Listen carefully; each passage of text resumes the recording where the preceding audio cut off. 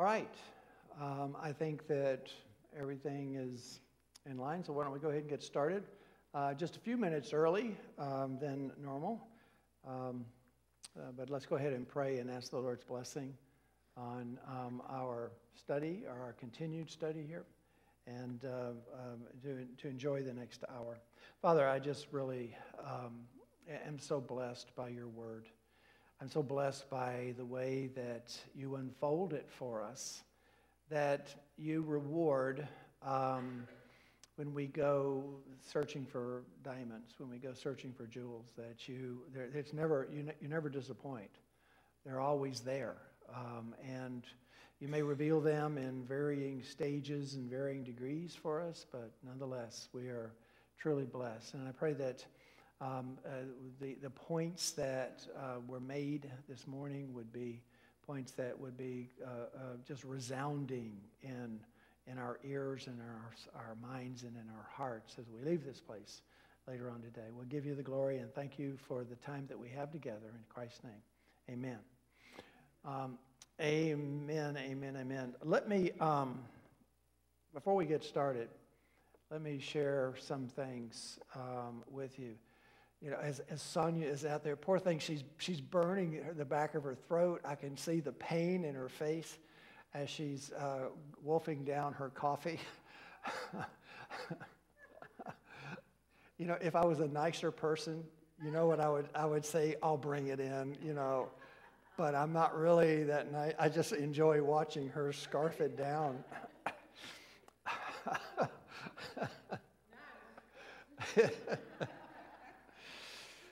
Um, there's a, an oddity, and I know that none of you will really appreciate this or think it to be true. But I have this fear that I've had ever since I first started preaching of not having enough to preach about. I know, I know, it seems silly.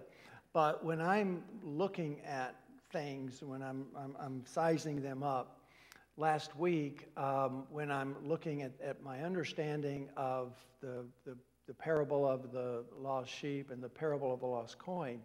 And I was, the way I was looking at it last week, it was like, oh my goodness, we, are going to cover that. I almost tacked the lost coin in, on the end of last week's sermon. And part of the reason was, oh man, we're going to get there. I'm not going to have, you know, they're all going to feel cheated if I only give them a 20 minute um, sermon, you, you know. Um, and, and you all say, no, it's okay. Anytime you want to give me a, a 20 minute, do so. But nonetheless, uh, it, it never fails when you take a passage that you thought was, I, I thought I had it down. I, I, thought that the focus of this particular passage was um, to, to uh, uh, emphasize the three major points of the parable that came before it. Almost like Jesus is saying, okay, here's the parable, here's the application. Now let me, let me make a simpler presentation of it and let me point out the things that were important in that main parable. All of this leading up to the really main parable, which is the parable of the, uh, uh, of the prodigal son. But that's not the case, is it? Uh, he rewards, I think, when we're willing to take shorter, smaller segments of Scripture and to delve into it more deeply, I did not realize that um, there was such a beautiful imagery here. I, I, didn't realize uh, of the whole redemptive um, plan. Um, so I, I, I, just thought I'd share that with you that it, it, almost got tacked on to the end of the sermon last week instead of uh, coming into this week. I'll tell you something else I was not, and, and you can tell me if you are fully aware. You know, you know how you're aware of things because you, you know it, but you're not really aware of it. You're not, you, you don't really comprehend it that way. Now, we talk about the perfect life of Jesus all the time. And we talk about his perfect righteousness all the time. And we talk about the fact that without that perfect righteousness, which theologians call the impeccability. It's the doctrine of impeccability, which means the doctrine of the fact that Jesus was sinless. He lived a perfect life, and we have Hebrews and other passages that we go to. But it never crossed my mind the way that it did this week that what we are seeing in Jesus is the Imago Dei, perfected. That, you know, we, we talk about the loss of the Imago Dei. It usually it's all in the context of what Adam and Eve lost. But the fact that the Imago Dei was walking around on this earth, and really it was that question of Dr. Sproul's that put it into context for me. When it's, okay, what is there about Jesus that the church has lost? What is it that we no longer have that was drawing all of these people like moths to a flame to Jesus and they're not being drawn? In fact, they're being repelled by, by the church. Why, why is that? And, and that's what got me to thinking well, Jesus was the Imago Dei. Jesus is the actual image. And yes, we know he is God in the flesh. Yes, we know that. We know that he's the radiance of God's glory. We know that in him the fullness of the deity was pleased to dwell. We understand that. Philip, if you've seen me, you've seen the Father. I and the Father are one. We, we, we understand all that about Jesus. But did, do we understand that the reason that Satan hates Jesus so much, one of the reasons, not the only reason, but one of the reasons that the Pharisees hate Jesus so much is because he's the walking, talking image of God. He is God in the flesh. He's the imago Dei. And that when we stand before God, our imago Dei will be restored, but not ours. It's His that we will have, that will be the untarnished version of the imago Dei. Does everybody get that point? Having glorified body, right? So how is that different from being restored to the image of God? And then the other question I had is, exactly is the image of God? When God created man in the image of himself, what, what, what does that mean? I, uh, every now and then I, I, have these little cute phrases that I, am going to key on, and then I get up there and I completely forget them, you know?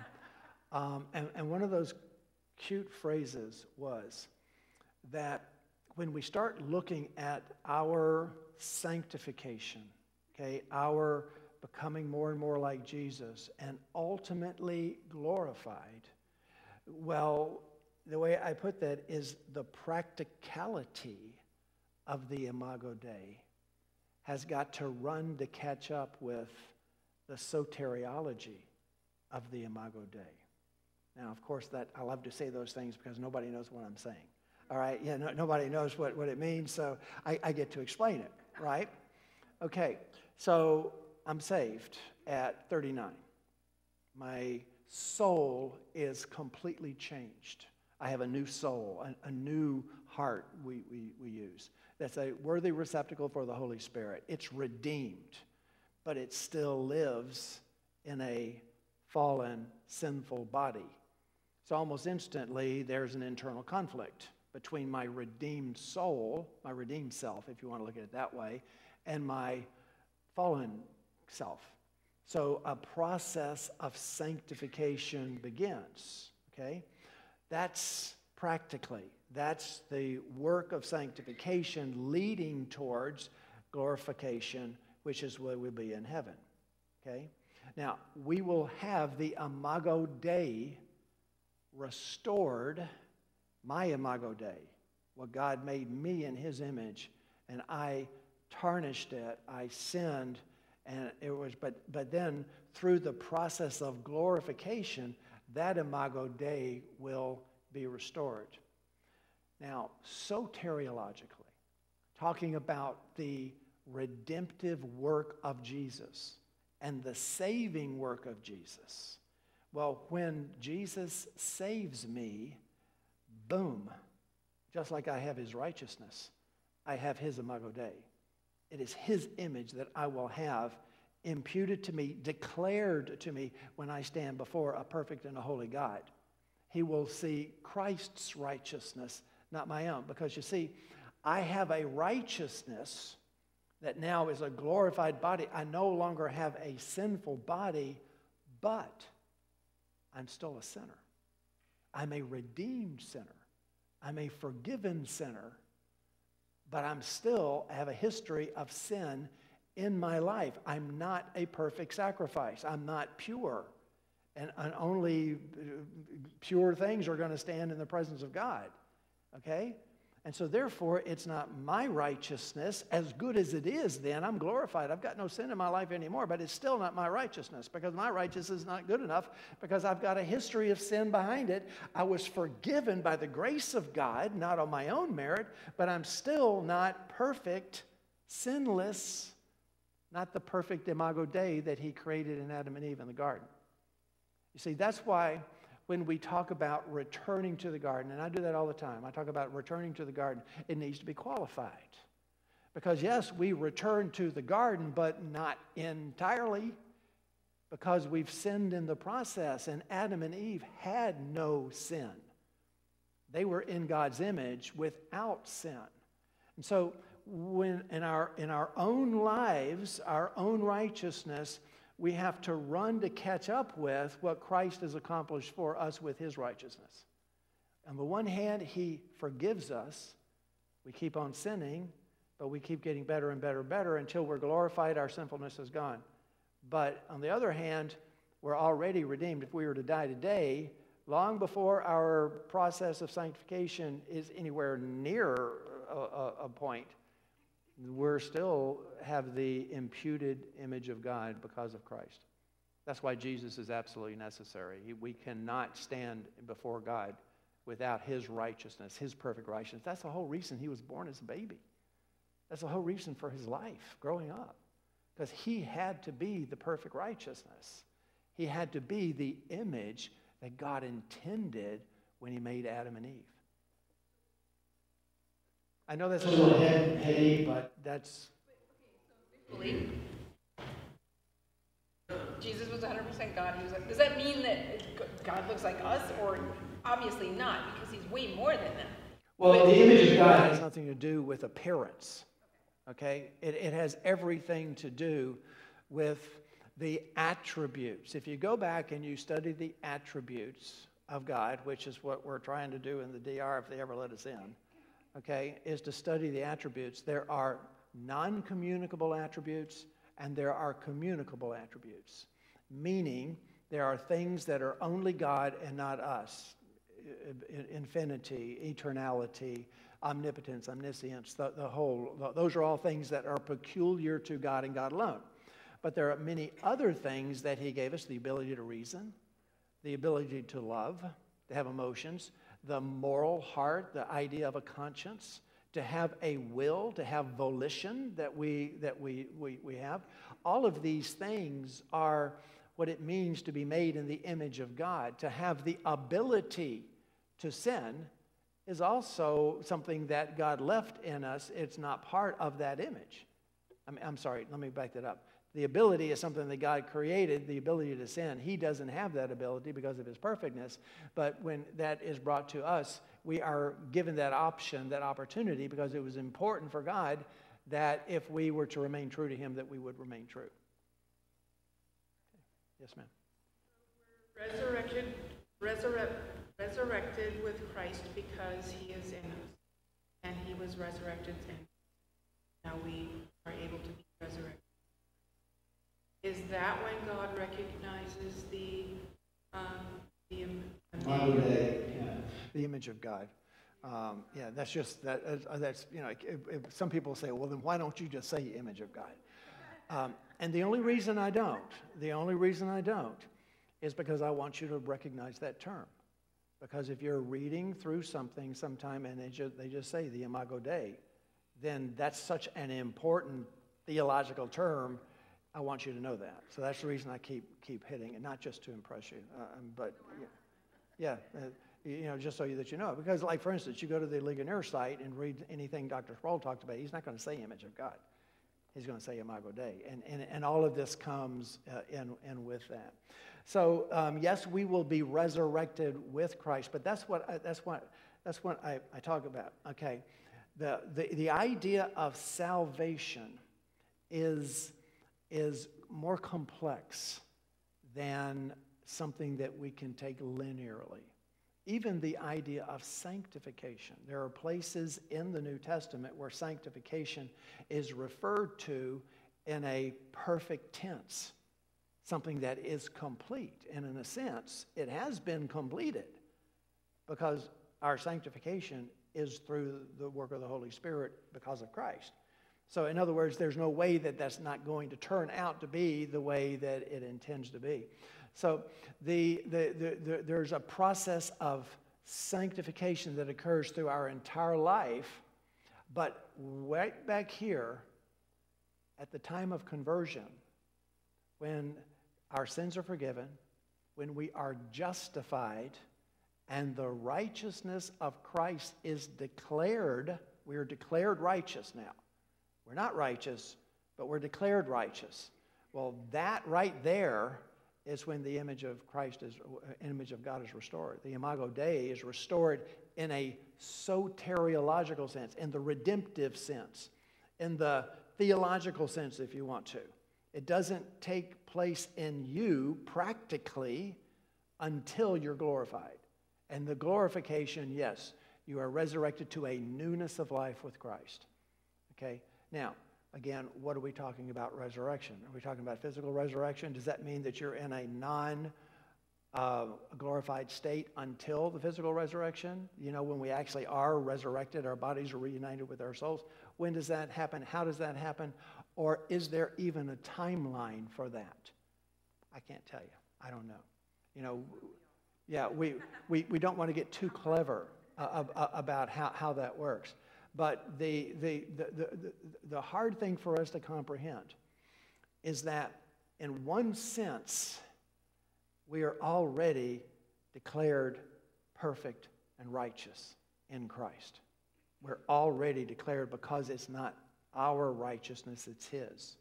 So, in that sense, we're righteous. But in a practical, everyday sense, you look at yourself and say, No, that's not me. And some people get confused with this. They, they hear things about we're righteous in Christ, and then they wake up and they say, Well, that's not me. I must not be saved. Well, no, that, that's where the, the process of sanctification, of growing more like Christ, continues day in and day out until we die and we are glorified. Okay? That, that, I mean, that, that, that is what the end product, as far as me is concerned. But what is so hard for us to do is that okay, I was made in the image of God. You were made in the image of God. Okay? When you were still in your mother's womb, that image was horribly corrupted, horribly twisted, horribly uh, tarnished. Okay? But it's still there. It's still there to agree. You still have a dignity that comes from being made in the image of God. The worst sinner out there the most egregious sinner still should have a degree of dignity because they are made in the image of God. Now, the unfortunate part about the rest of the culture is they want to talk about the dignity part, but they don't want to talk about the depravity part. That we are a tarnished, um, a, a corrupt version of that. Now, when you're saved, when Jesus, when you're born again, when the Holy Spirit regenerates you. Okay? Instantly, from that point on, it's not like, okay, it depends on how better I get, whether or not I'm going to go to heaven or not. That's the Catholic idea. That's where purgatory comes in, right? It's you, salvation, grace, faith plus works. That's not it. You are immediately, you're completely and totally saved. If you were to die the next second, that would be it. You would still go to heaven and you would be perfectly righteous. But your flesh is going to go through a process where you run to keep up with your redeemed self. And that's the Christian life, really. To try to keep up with my redeemed self, because my redeemed self has been declared righteous by God. It is the imago Dei of Christ. I'm not there yet. So I'm going to run the rest of my life and work hard the rest of my life to catch up with my his imago Dei. No, catch up with the imago Dei that has been declared mine by Christ because of my salvation, which happened when I believed in Him and trusted in Him and, and, and gave my life to him. Between being before God and when you're, when you're before God, is the difference between him saying, oh, welcome, here you are, there you are, and I never knew you. Um, y- yes, but I, I don't think you would ever get before God. You wouldn't get in the gates. Yeah, you, you, you, you wouldn't be there. You wouldn't be able to. But yeah, but it's not Peter at the it's not Peter at the gate. You know, just remember that it's not Peter. It, it's Christ. Okay. Yeah, and, and he's the one who's going to look in your eyes and, and, and, do that. But, but hang on a second. Hold that thought. Let, let, let me just um, uh, re- reiterate one thing. When you stand before God, okay, Scripture teaches us that God is so pure, so holy, as to not even be able to look upon iniquity, okay? So there can be no iniquity in you to have a relationship with God. Now, what I think most people miss is that if I am redeemed and my sins are cleansed and they're expiated and propitiated and they're moved from me, I'm no longer, I am justified, meaning I am declared not guilty Right, I, am declared not guilty, but I still sinned. And how can I, with my history of sin forgiven by Jesus, how can I stand in front of a holy God? That's the whole reason for the righteousness of Christ. It's his righteousness, perfect. Right. He, he, he sees the, the blood of his son. Okay, sorry. Why do people think that Peter is the one that lets you into heaven? It's probably because of where Jesus gives him the, the keys to heaven. Right, the keys to the kingdom of heaven. So he's the gatekeeper and, and is wrapped up in Roman Catholicism um, and mysticism. That, you know, he's now the, the, the keeper of the keys. Um, right, or always has been a keeper of the keys. Yes, ma'am. if, if you're witnessing to an atheist who believes we came from pond scum. Mm-hmm. Um, and uh, you state that you were made in the image of God, and they say, in what way am I the image, do I bear the image of God?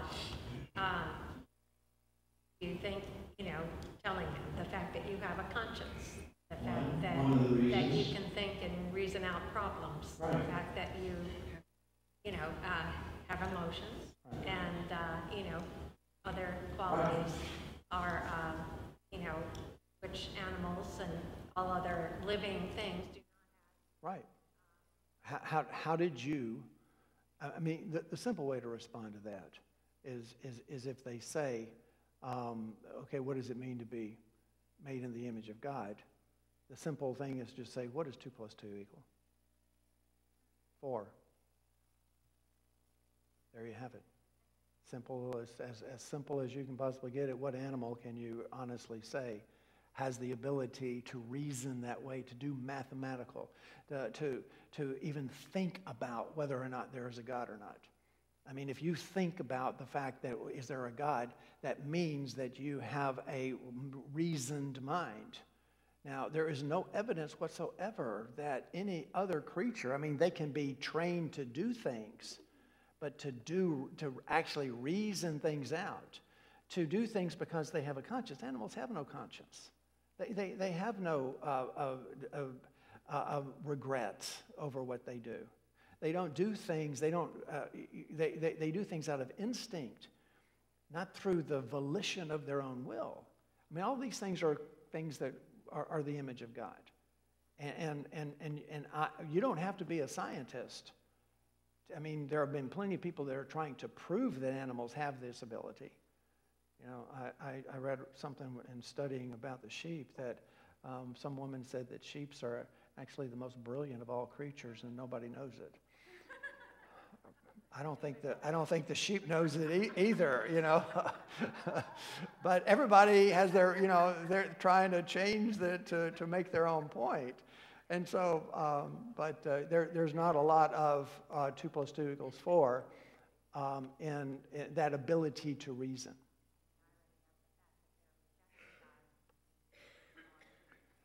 The huge irony, the huge irony of this is that the only view of humanity that establishes dignity in humans is the Christian view, is the view of God created us in his image.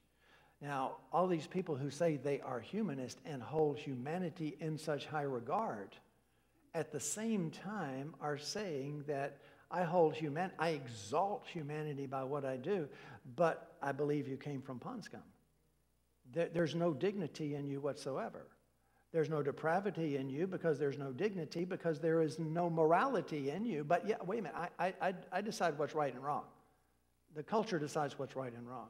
So it, it's completely, it's baffling how irrational the thought actually is. How can something who's a cosmic accident have dignity?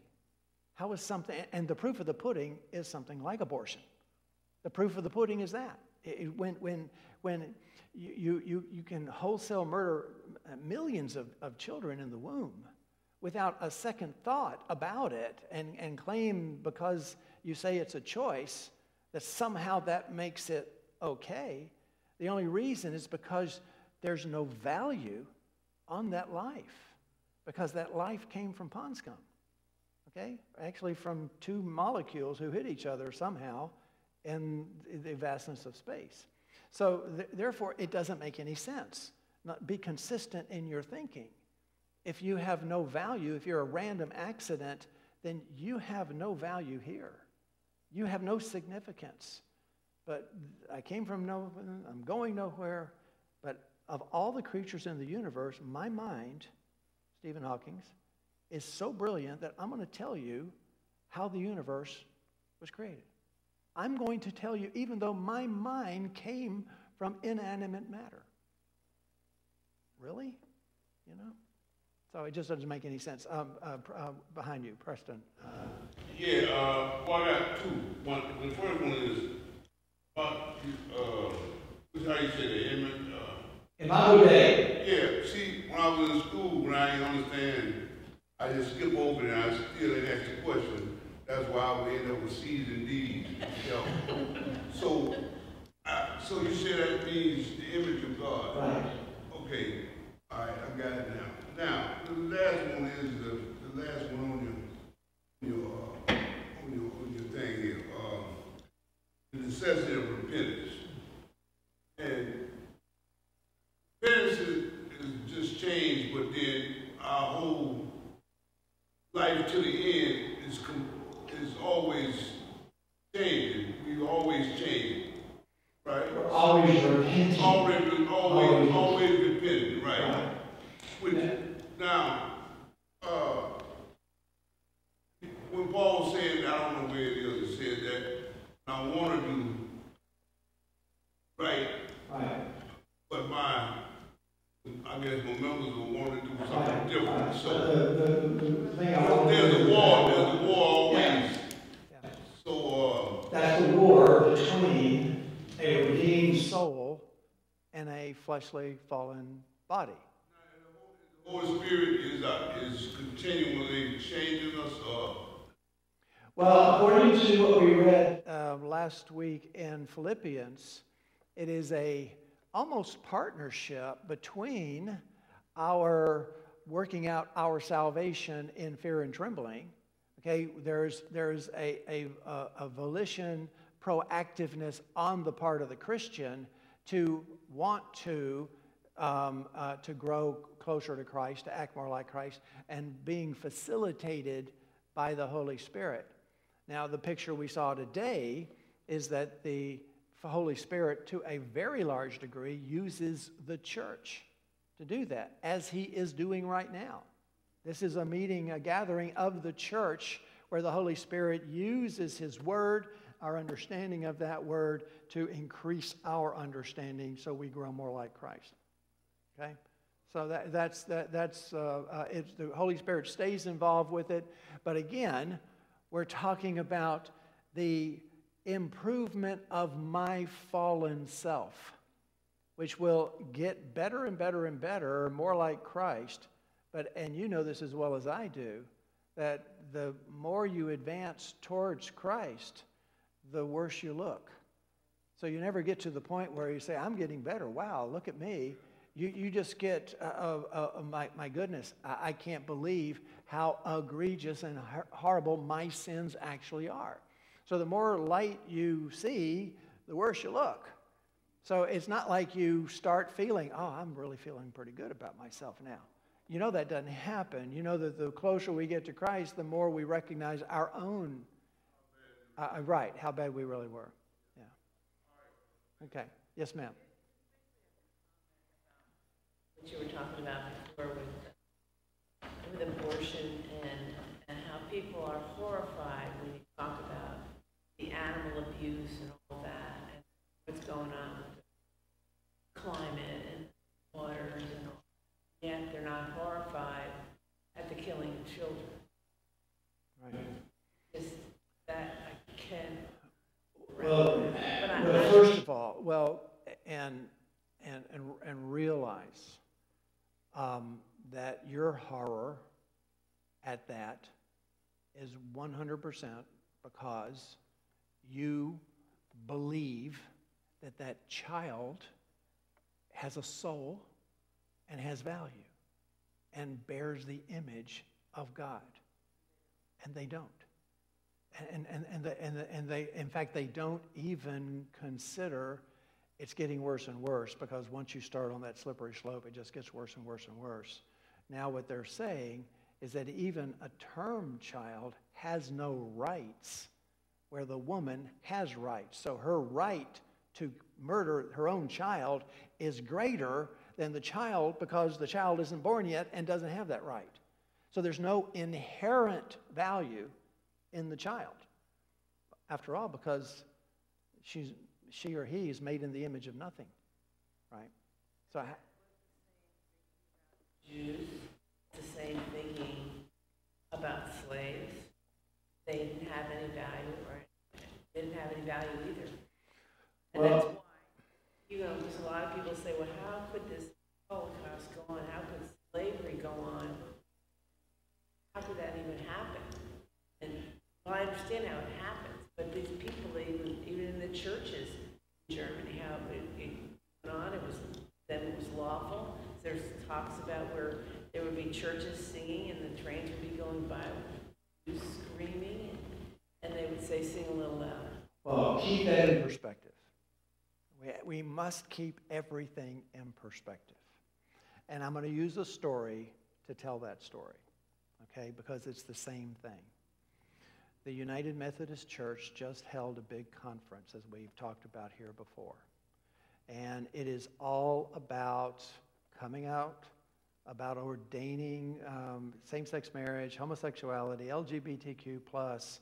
It is all about in bringing this in to the church. And you see this massive, very well publicized conference that they had to celebrate it, people crying and weeping because finally, you know, now they're validated in their, in, in, in their uh, beliefs and, and everything is great. And so people look at that and say, what on earth happened to the United Methodist Church? Well, close to 8,000 churches had already split before that happened. So, in other words, 8,000 full churches said, no, we're not going to have anything to do with this. That's not biblical. So they split. Okay? So they, you don't hear about that. You hear about, oh, the Methodists are all for gays. Well, all the conservative Methodists have left. So the German church embraced Aryanism, okay, Aryan supremacy, and, and Hitler's um, uh, uh, uh, hatred of the Jews. But the Lutheran church is gone by that time. Okay? They've gone underground. They're, they're not the ones there. The Lutheran church, the, the, the higher ups, of course, was very close to being apostate anyway at the time. But you still had people like Dietrich Bonhoeffer, who was there. But the, the, the Lutheran Church, by the most part, had, had already been uh, devoid of those who were going to stand up against Hitler. So it's not like good Christians who are sitting there worshiping and, and they're just saying, you know, uh, sing louder uh, because uh, of the Holocaust. They actually embraced. You get pictures of the, of the bishops and the, the heads of the Lutheran Church, even some of the, uh, the Roman Catholic diocese doing the Heil Hitler thing. Okay? I mean, they gave in, they caved. And you see what happens to those who didn't cave. Bonhoeffer, an enemy of the state, maliciously killed two weeks before Hitler killed himself, just to eliminate all those political enemies, kill all the enemies that, um, that dared to stand against me. And he didn't even do that. He just refused to, to bend to, to Hitler. So, you know, it's, it's not the, uh, the, the, church. But let me back up and, and answer part of your question about abortion and about the fact that there doesn't seem to be a national consciousness of it. Um, I had a woman stop me um, after uh, uh the service uh, several weeks ago. And um, uh, the, the error that people accept is because they've been taught. They've been taught that. I don't really have an opinion on it. I can go left or right on it. But I've been taught that this is not really a life, it's just a growth on the woman's womb. Okay? I mean, roll your eyes, but that's what they've been taught, right? And so they accept it, and it's done. I don't have to think about that anymore. Now, I see all these crazy pictures of people and, and the evidence. I don't have to worry about that because that I've decided that issue, and it's already done. It's out of my head. Okay? And, so even, even later on, if you're taught now, they couldn't get away with that argument anymore. So now the argument is that there is some inherent right in the woman that she has that makes it okay to destroy knowingly a life. That would have never flown 40 years ago. Back when the, the wart on the, uh, uh, on the inside uh, of a womb argument was being made. Okay? If you came out and said, no, we're going to go for late term abortion, and it's the woman's right, no, even the abortionist wouldn't have allowed that. But you see, once you keep drilling in, this is the truth, then people who are not interested in the truth, they just want it to go away. They just don't want to think about it. It doesn't affect me. It doesn't bother me. I don't see it. It's not on my doorstep. I'm not seeing the broken lives. I'm not seeing the products of this. Okay? I can go on with my life, and all you need to do is give me a comfortable place to hang my hat. And so you hang your hat on choice. Good, it's done. So there's no consciousness because of that. Yes, sir. Um, they're going to have a second fail like after um, a thousand years when, the, we get some people get saved if it's a fairy tale. And my second one, in Revelation 21, Jesus coming with a white horse That's when they're going to have animals saved in the heaven, but pretty sure dog, not cat. So, I don't have no choice.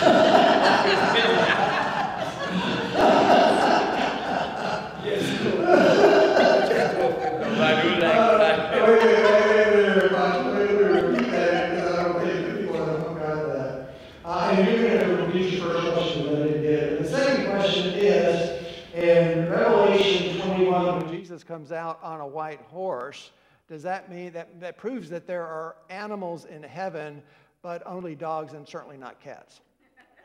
Okay? Um, I, I, don't know. I, I have learned that all dogs go to heaven. I, I, I have learned that. Uh, what was your first question? Uh, I, I, missed that.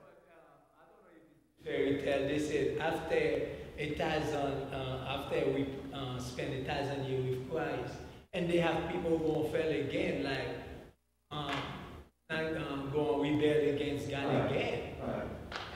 Those, those people never get saved or what's, Um, well, uh, um, that is um, uh, probably one of the most contested areas of Scripture that divides evangelicals who, even evangelicals who believe in the sovereignty of God. I- I- the way that we interpret the millennia, the thousand year reign of Christ, is very problematic. And it's the, the most apocalyptic, symbolic book in the Bible. And um, the way that you interpret it is usually the way that you're going to come up with what that means. For instance, I don't believe that there's going to be that thousand year reign, and then there's going to be a rapture of all the Gentile church, and then there's going to be a reign where Jesus is in control, and then there's going to be ano- another great tribulation that is going to lead to the, the end. There are so many ideas about that, but when I read Revelation, and I, I, I, I preached on it uh, years ago, but when I read Revelation, I see that virtually every number in Revelation is symbolic. Almost every number. And when I preached, uh, when I taught Revelation, I said, okay, we're going to have to make a decision right here and now, at the very beginning of the book. We're going to have to make a decision on how we are going to interpret things. Because if we're going to interpret them literally, then we're going to have to interpret the whole book literally. But if you're going to interpret it symbolically, you're going to have to interpret the whole book symbolically. You can't switch back and forth when it suits you. Okay? Now, people who go look for a literal thousand year reign of Christ, they're taking that thousand years and they're saying, well, I, I, I don't think he, there was actually a door in heaven. Uh, I, I'm, I'm not sure that, you know, the, the, the, these locusts that are going to come out of, of hell and attack the world, um, yeah, that's quite symbolic. That's uh, symbolic of this or that. The Whore of Babylon is symbolic of the culture.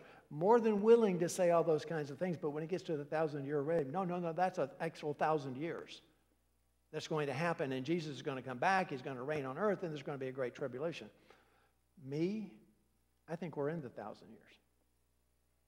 The gospel age, the age that the church, the church age, we are the body of Christ.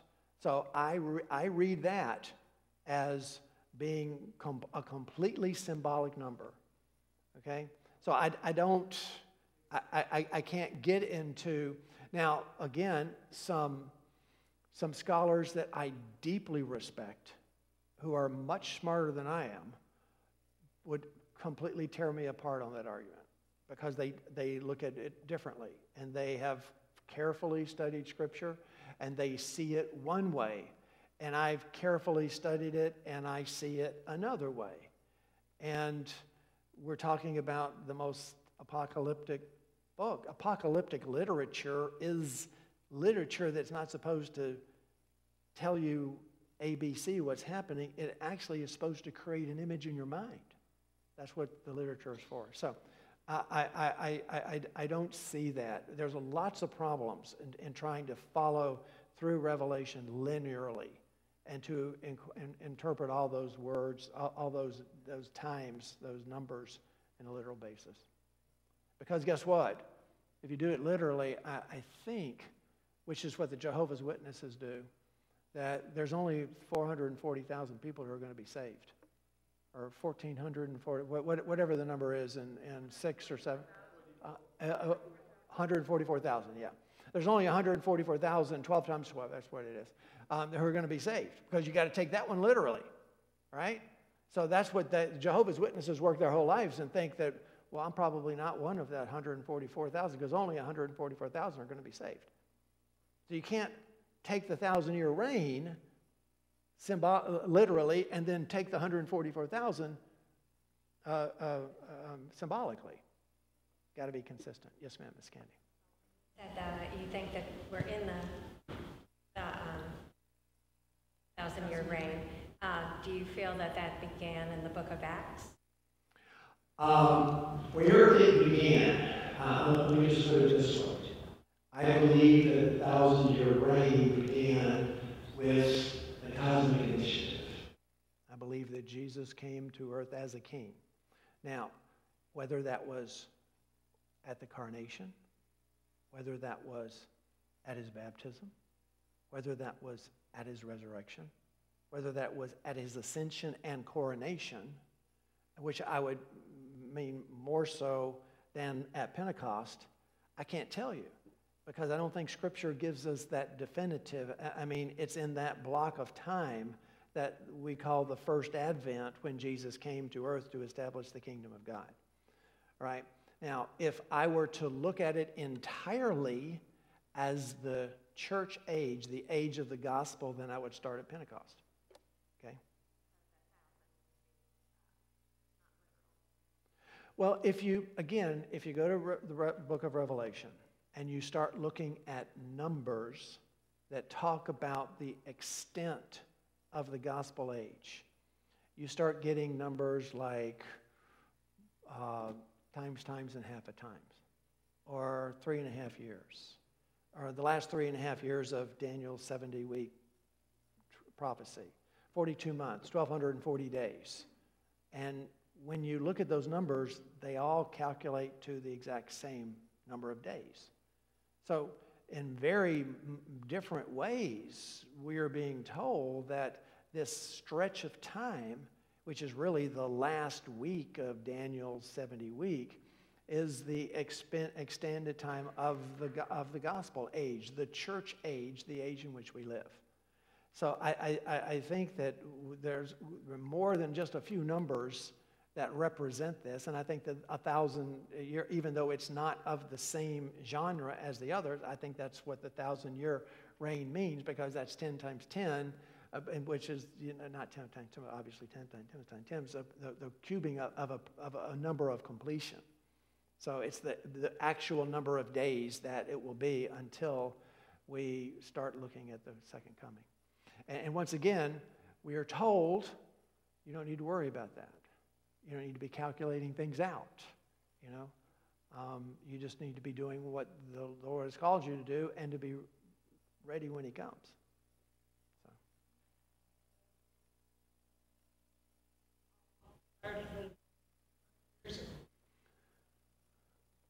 Well, the rapture um, actually, and I forget her name, but it was a 15 year old prophetess girl who saw it in a vision. And she developed the, the, the idea of the Gentile rapture.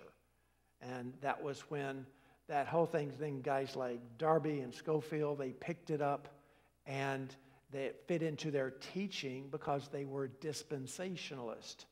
They were not covenantal in the way they saw church history or religious history.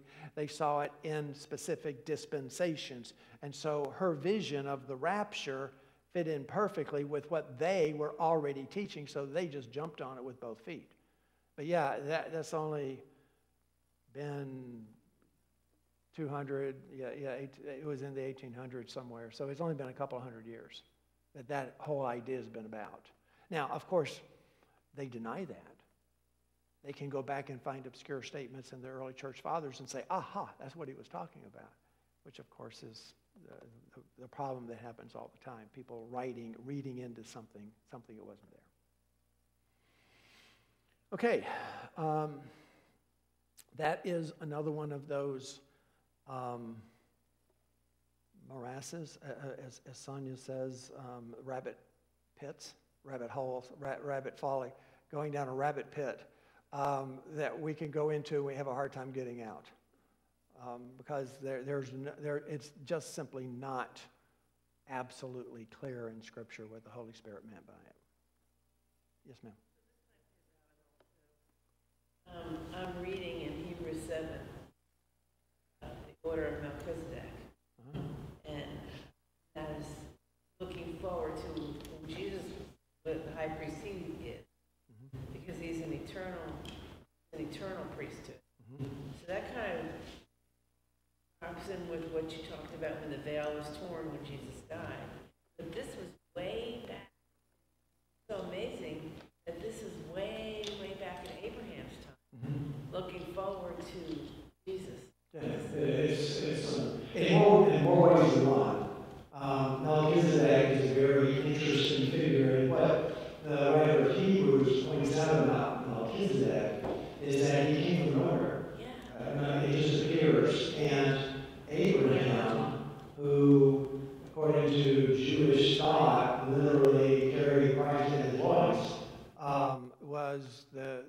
The, the, one who paid tribute to Melchizedek, all right?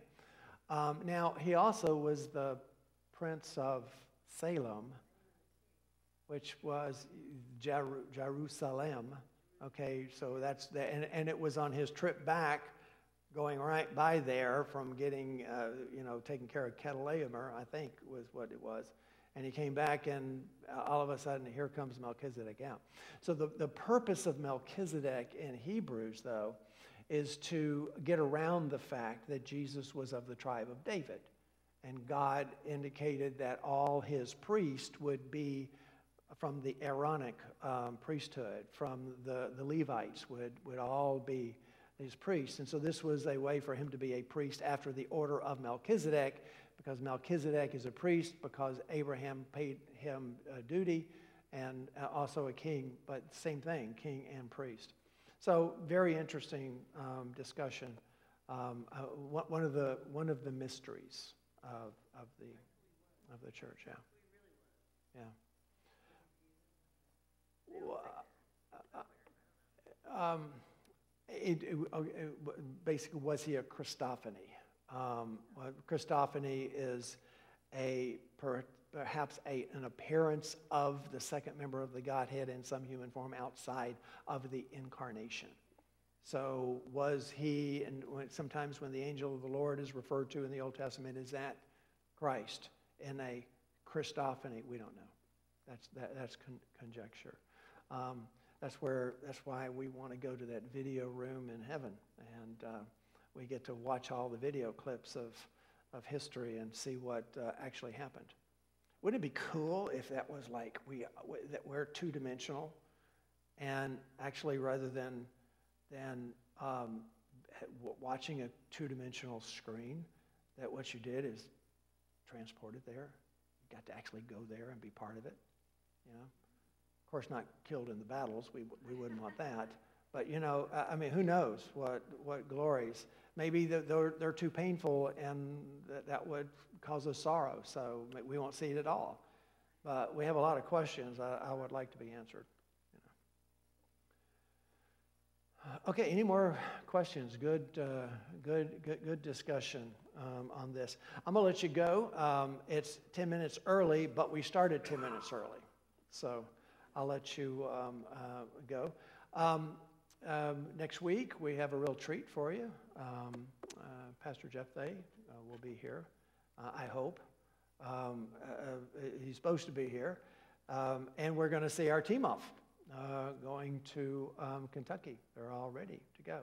In fact, Ms. Sherry, if you would just hang on for a half a second, I, I, I want to ask you something. All right, let me pray and I'll let you guys go.